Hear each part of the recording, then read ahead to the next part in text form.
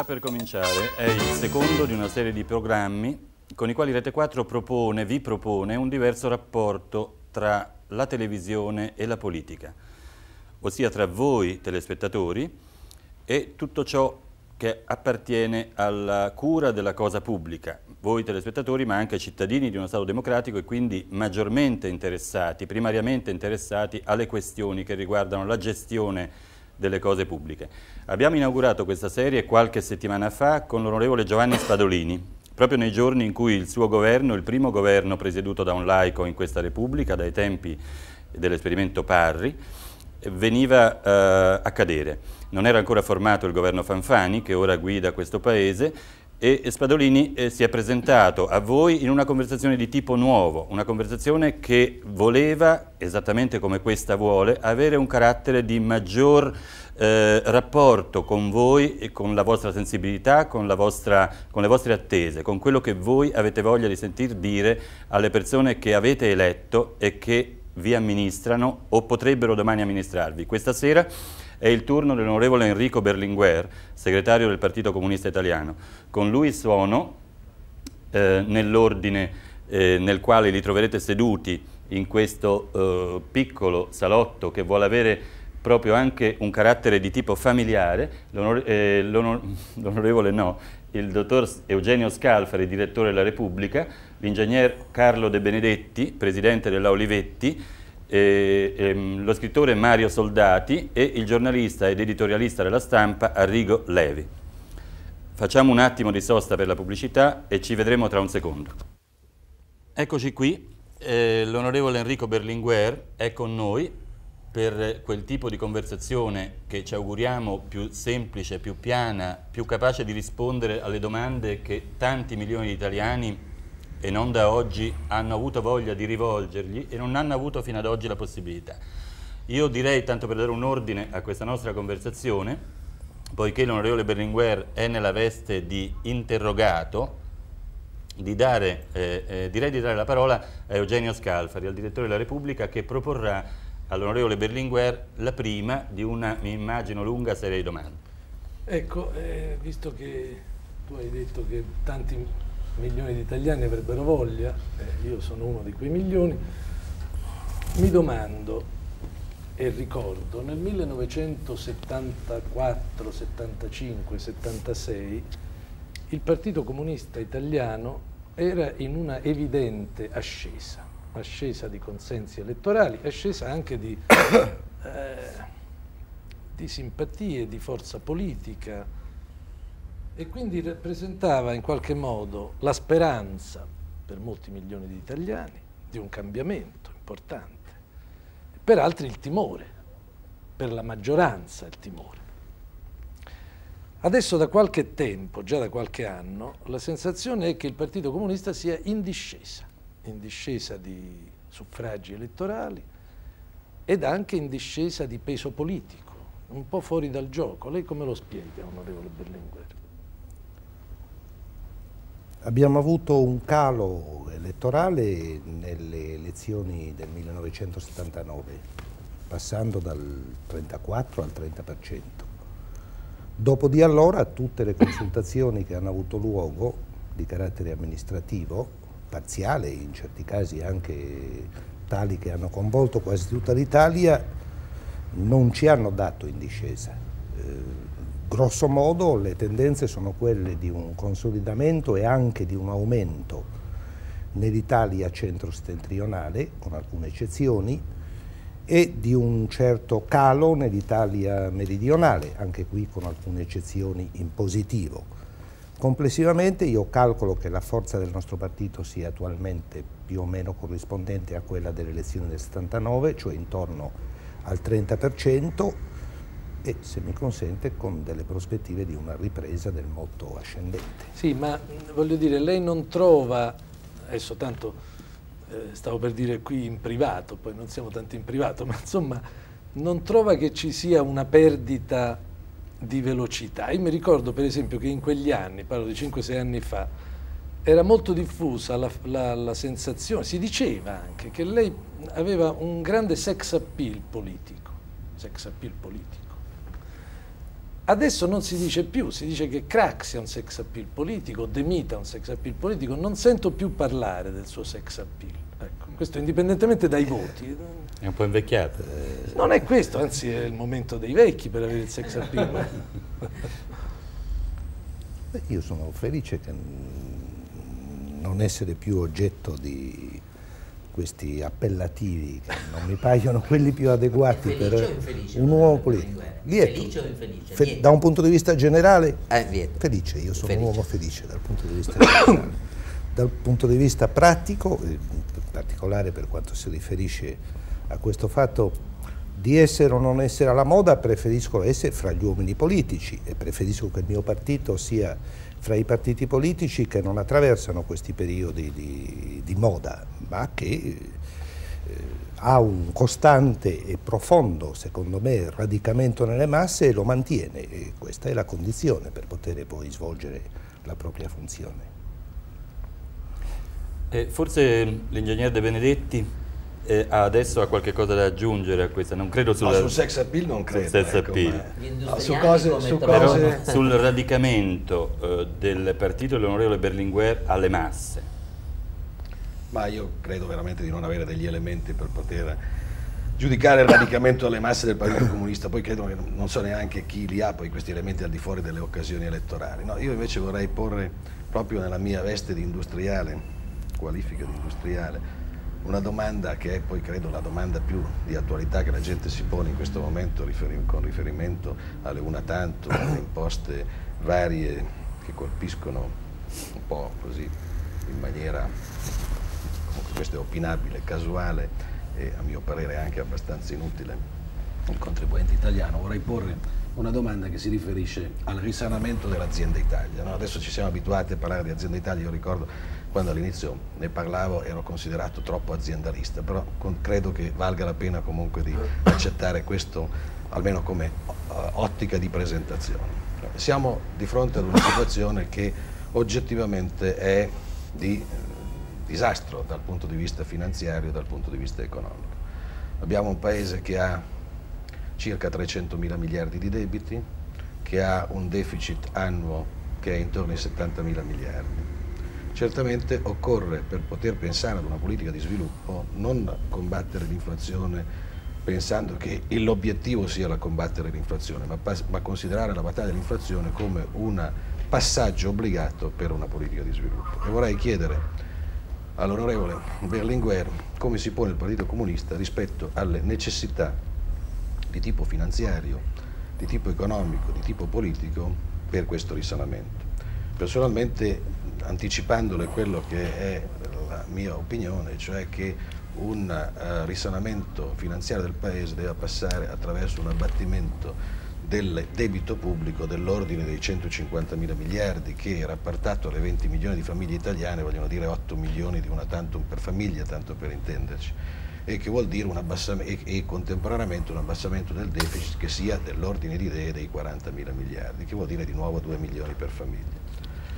Ecco, se, la prima cosa che vorrei chiederle è, lei ritiene che questa riappropriazione da parte dello Stato di una parte di trasferimenti che sono stati fatti dallo, dal, dallo Stato alle famiglie, attraverso anche mancate contribuzioni, sia dell'ordine di idee che ho menzionato, e secondo, che condizioni chiede nel caso che sia positivo la sua risposta. Che condizioni politiche chiede il Partito Comunista affinché un governo, e quale governo, possa attuare questa politica di risanamento finanziario che è la premessa per una politica di sviluppo a cui penso non solo gli industriali ma anche i comunisti siano attaccati.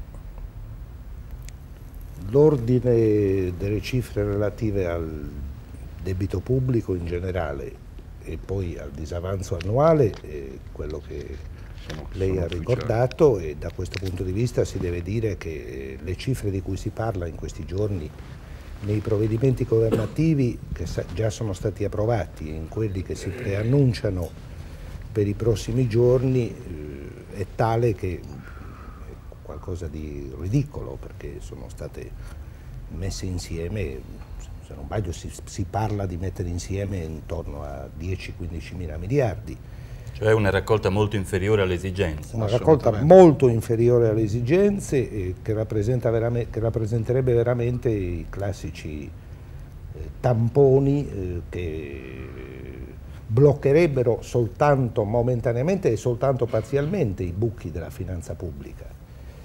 Quindi evidentemente se si vuole eh, evitare questo collasso finanziario e risanare e al tempo stesso creare le condizioni di un'accumulazione di risorse per promuovere investimenti e occupazione bisogna muoversi posso senz'altro sposare le cifre che, ha letto, ma, che lei ha citato, ma certamente in un ordine del tutto diverso, in una dimensione del tutto diversa da quella in cui si muove l'attuale governo, che quindi in sostanza inganna gli italiani, sbandierando queste cifre. Chiedo scusa, onorevole Benbe, così lei risponde alla prima parte del, sì. della domanda del, del dottor dell'ingegnere De Benedetti, la seconda, quella che propone, eh, che risponde indicando che tipo di governo e che tipo di politica. Che tipo di condizioni la, anche. La, sarebbe opportuno che lei la formulasse tra un attimo, perché ora abbiamo un piccolo stop eh, dedicato alla pubblicità. Eccoci qui, la prego, onorevole Berlinguer, di mh, proseguire nella sua risposta all'ingegnere De Benedetti. Sì, forse è più utile esprimerci facendo riferimento a qualche fatto concreto. Eh, che riguarda in particolare le caratteristiche dell'Italia anche in confronto ad altri paesi. Per esempio domandiamoci perché in Italia siamo in ritardo nella ricerca scientifica e tecnica, pura e applicata.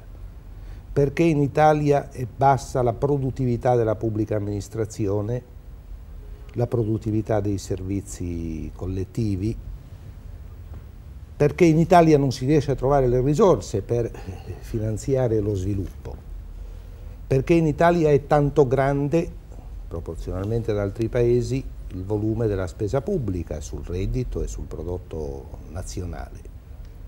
Secondo noi perché in Italia è stato costruito nel corso degli anni, per opera della democrazia cristiana, un sistema di potere, tale noi lo chiamiamo, fondato sul clientelismo, sulla protezione di determinate categorie e sul mantenimento della macchina stessa del Partito Democristiano e dei suoi alleati che ha assorbito grande parte delle risorse che avrebbero potuto e dovuto essere destinate a investimenti per la ricerca, per la produzione, per migliorare la produttività dei servizi della pubblica amministrazione e questo ha schiacciato anche finanziariamente il nostro Paese. Quindi la condizione fondamentale per risanare finanziariamente lo Stato e per ridare fiato alla produzione è quella di liberarsi dal peso soffocatore di questa macchina del potere democratico cristiana. Sì, questa è una condizione al tempo stesso economica e politica sulla quale bisogna agire.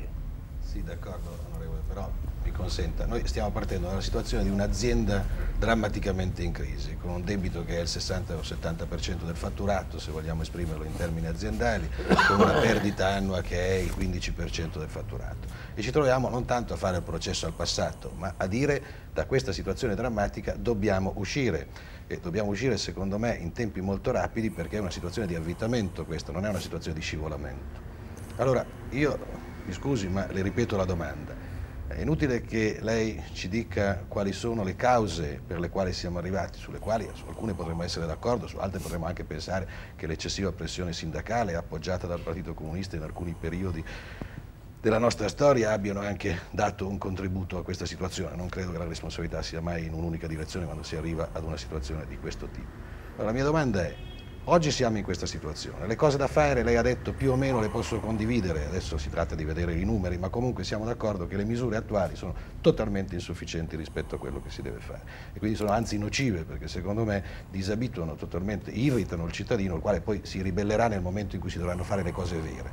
Allora io chiedo quali sono le condizioni politiche che il Partito Comunista pone per dare un suo contributo al risanamento dell'azienda Italia. Non sono del tutto d'accordo con lei quando dice che non bisogna riferirsi al passato. No, per carità, è un elemento E soprattutto non sono d'accordo quando si mettono sullo stesso piano le responsabilità di chi ha governato e di chi è stata l'opposizione. A mio parere le responsabilità maggiori sono sempre di chi governa. Certo. Si tratti dell'Italia o si tratti anche della Polonia. Eh. Primo. Secondo, io mi riferisco al passato perché c'è un'esperienza di cui bisogna tener conto. Ora, noi da alcuni anni, anzi da parecchi anni, ci sentiamo dire ogni anno che se si rastrellano 8, 10, 15 mila miliardi si risana la situazione. Dopodiché l'anno 21 ci si dice che bisogna rastrellarle non so quante certo. migliaia in più. Questo... questo vuol dire che non si può avere il minimo di fiducia in chi ci governa, in chi amministra questi soldi che poi vengono rastrellati, che servano effettivamente a risanare la situazione. Ma su questo mi scusi, eh, siamo totalmente d'accordo. Allora io le chiedo, che cosa è le condizioni, quali sono le condizioni politiche che lei pone dal punto di vista politico, se la diagnosi di tipo finanziario e economico è più o meno corretta. In termini politici, qual è il contributo che il Partito Comunista è disponibile a dare verso il risanamento dell'azienda Italia? Naturalmente, sì, naturalmente il Partito Comunista comunista non rifiuta neppure di fronte a un governo che giudica in modo così negativo come quello attuale di fare le sue controproposte, le abbiamo presentate anche in Parlamento sulla legge finanziaria. È evidente tuttavia che la principale condizione politica perché possa farsi una effettiva politica di risanamento, che deve essere una politica di rigore, ma al tempo stesso anche una politica di pulizia sul piano morale e una politica di giustizia sociale, che cioè non faccia ricadere tutto il peso della rimessa in moto della macchina economica sulle classi lavoratrici e sugli operai e che cambi radicalmente il personale politico, la classe dirigente se vuole, che ha finora governato l'Italia. L'alternativa democratica, questa è la condizione politica. Cioè, Noi non abbiamo la minima fiducia nel personale che in questi anni ha governato l'Italia. Sì, questo mi pare mi chiaro pare dalle che... sue espressioni. Eh, quello che vorrei capire è l'alternativa. Io credo che questo, governo, che questo Paese, di fronte ai problemi eh, di cui abbiamo parlato, di cui si parla tutti i giorni, non possa essere governato col 51%, non lo può essere governato, lo vediamo oggi, con un 51% che è comunque in sintonia con il mondo internazionale, con la parte del mondo internazionale a cui siamo legati, tantomeno secondo me con un 51% di tipo, eh, di tipo alternativo e che quindi avrebbe anche dei problemi di tipo internazionale. Allora mi consenta, visto che il 51% non basta, mi vuole dire qual è la soluzione politica che lei propone rispetto a questo problema?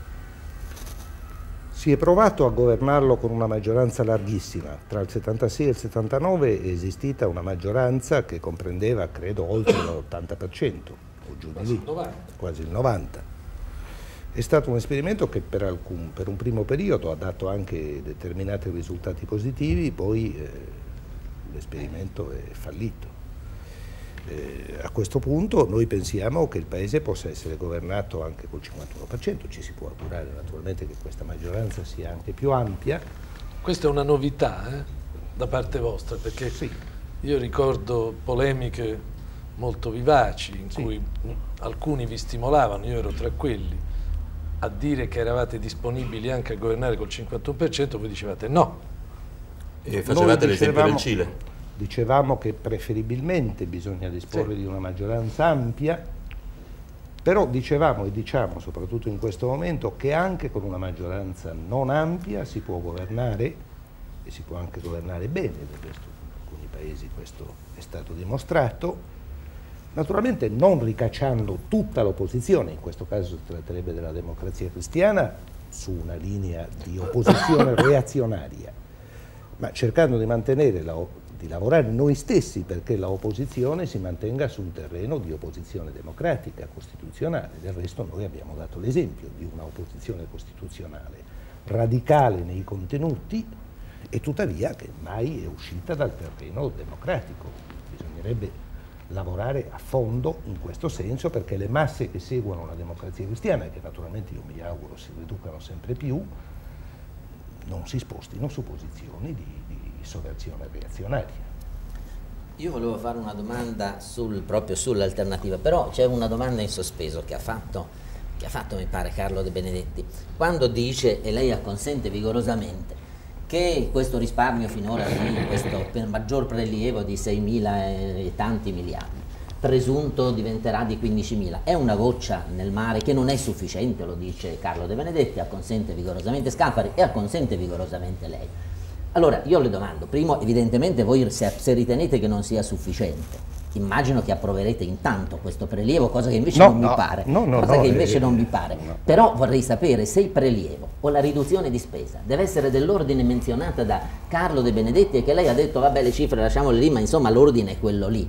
Cioè se dobbiamo dire che o per risanare il debito pubblico o per mettere un freno all'emorragia crescente, perché qui abbiamo le forbici famose, c'è una spesa pubblica che sta crescendo in maniera divaricata rispetto al, al- al reddito, quindi c'è un problema a parte tutto di riduzione molto forte della spesa pubblica, le colpe, il passato, quello che siano, ma il futuro è quello che ci importa. Come pensate di fare questo prelievo maggiore fiscale di quell'ordine o siete del parere di poter essere d'accordo con altri partiti, perché comunque nulla si fa senza un consenso di vari partiti, per una riduzione reale della spesa pubblica, che vuol dire riduzione delle strutture. Qui stiamo parlando di misure reganiane, eh? stiamo parlando di misure che vogliono dire una concreta modificazione di strutture, di leggi pluriennali, di attese di spesa che debbano essere modificate. Questo credo che è quello che sta dicendo Carlo De Benedetti, o comunque questo è quello che dicono in molti. Sì. Se, se- se l'ordine di grandezza è quello, come lo affrontate? non con una politica reganiana. La politica reganiana ha portato a una certa riduzione della inflazione negli Stati Uniti e tuttavia ha portato a, un- a una Aumento di- disoccupazione enorme e che in parte in alcune città americane comincia a diventare povertà e miseria per coloro che vengono gettati sul lastrico. Quindi questo non è il rimedio che noi proponiamo e del resto sarebbe assurdo che si chiedesse a un partito di sinistra, a un partito operaio di fare una politica reganiana. No, la riduzione della spesa pubblica la fa anche Mitterrand, che è un partito di sinistra, con Sì, dentro i certo, comunisti. bisogna eh. vedere che cosa riduciamo della spesa pubblica. Eh, che sono- cosa? Prima di tutto, lo ripeto perché voi mi sembra Sì. che gli diate poca importanza a questo fatto che secondo me invece è decisivo, sono gli sprechi e gli sperperi della spesa rivolta unicamente o quasi unicamente a mantenere in piedi la macchina del potere democristiano dei partiti alleati della democrazia cristiana.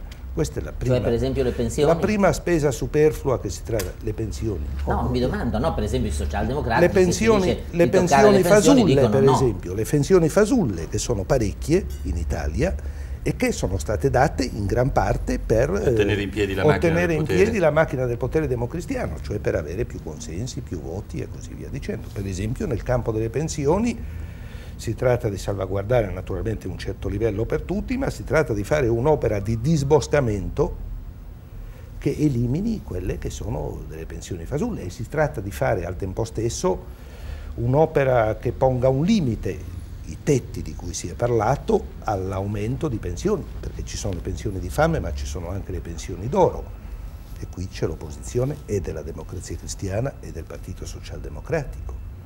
Quindi come vede ci sono parecchie voci eh, sulle Sì, quali sì. si può incidere per spezzare quei meccanismi di spesa pubblica che comportano un continuo accrescimento del disavanzo dello Stato. Ma allora le chiedo, il Partito Comunista presenterà in Parlamento un progetto di legge finanziaria, di riduzione di tasse, di, riduz- di aumento di tasse o di riduzione di spese eh, quantificato con numeri, con cifre, perché noi abbiamo letto, io non so se sia vero, confesso, abbiamo letto che gli emendamenti del PC portavano a un aumento del disavanzo della legge finanziaria di 19 mila miliardi, giuro che non, Noi abbiamo proposto so sia aumenti che riduzioni. Noi per esempio proponiamo, e questa è una delle misure fondamentali, che eh, sia eliminato quello che viene chiamato il fiscal drag, cioè il granaggio fiscale che viene operato sui redditi del lavoro dipendente e che colpisce in modo particolare gli operai, perché riteniamo che questa sia una grave ingiustizia sociale che come tale deve essere liquidata e inoltre riteniamo che senza sanare questa ingiustizia sociale profondamente sentita dagli operai è impossibile chiedere agli operai di contribuire in una qualche misura al risanamento della situazione, perché gli operai vedono che qui c'è proprio un'ingiustizia stridente, perché tutte le altre categorie, e sul piano fiscale e sul piano contributivo, contributi per la previdenza, contributi per la sanità, pagano delle aliquote molto inferiori a quelle che pagano gli operai, cioè tutti i valori sono rovesciati nel nostro paese. Si dovrebbe premiare il lavoro produttivo e quindi prima di tutto il lavoro operaio e invece si eh, soffoca e si schiaccia soprattutto il lavoro Sì, produttivo. quando lei dice... Scusami Eugenio, Scalfari vuol dire una cosa ma lo dirà tra un secondo. Pubblicità.